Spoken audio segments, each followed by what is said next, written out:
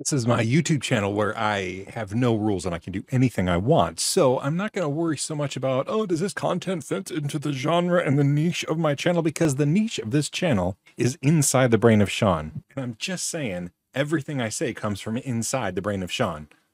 Kind of. I mean, you know, my mouth and lungs are involved, but today's super, super hot. It, it, it's really a bummer because we have a couple window air conditioners in our house we don't have central air. Not a whole lot of places in northern Michigan have central air. I guess some places do, but uh, for the most part, you don't need it, right? You get a maybe one hot week a year, and you know, a window air conditioner or just go to Walmart or something and, and hang out in the cool. Uh, but things are getting hotter. And like today is super, super hot with like heat advisories and our main window air conditioner, 12,000 BTUs, which is upstairs and like blows constantly on days like today so that it like filters down to the lower level of the house. The motor completely quit. And that's kind of a big deal. Now, you can probably hear, I don't know, maybe the noise suppression is stopping you from hearing it, but I have a, a, little window air conditioner in my office. Its job is to stop me from sweating and getting flush when the lights that are here are shining on my face. It is not designed to keep it, you know, the 100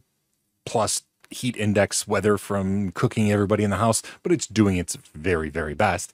Um, but what about people who don't have AC at all? And that just really, really bothers me. And you know, I've started this YouTube journey in like my main channel where I'm making content to teach people to get themselves better careers using Linux because those are the things I know and I can teach.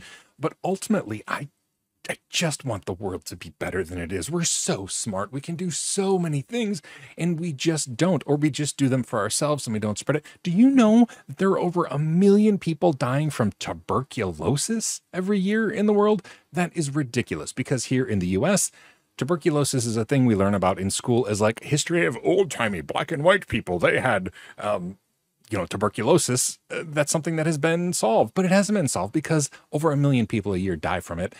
And it just breaks my heart. So I just want to fix the whole world. And I don't know how to go about doing that other than the few things that I do know, which is Linux, which so I'm teaching people how to do Linux stuff and, and drink Kool-Aid apparently, because that's a skill that I have. Anyway, I want to figure out a way that I can invest time learning cool things, teaching other people cool things, and then somehow getting those, not just the knowledge, but the ability to do it. Like, for example, did you know that heat pumps are magic? Basically, they are more than 100% efficient. Uh, uh, an air conditioner is a heat pump. It takes uh, it's easier to think about it as a heat producing part. Like right now, it takes heat from inside your house and moves it to outside of your house. But you can also generate heat inside. Uh, and it's called a heat pump to heat your house by like basically turning it around. You don't have to physically turn it around. A lot of the the things are heat pumps and air conditioners all in one, but basically it takes less energy to move heat than it does to create heat. So they're more than 100% efficient. Anyway, why I say that is everybody in the whole world should have like a geothermal. So using the ground as a source of constant, uh, like 50 some degree temperature to start with as a heat pump and heat and cool their homes. But we don't. No, we don't. Here in the North, we burn stuff because it's super cheap, but it's not efficient.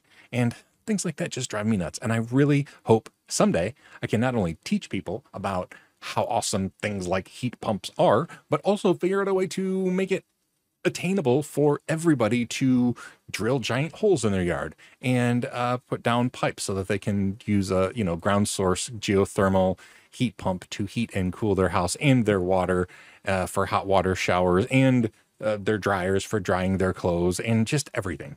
Anyway but i'm just going to make linux videos for now because that's what i know how to do. We'll see where this goes but uh, i have big plans and no idea how to get from point a to point b so we'll see how it goes. I'll see you next time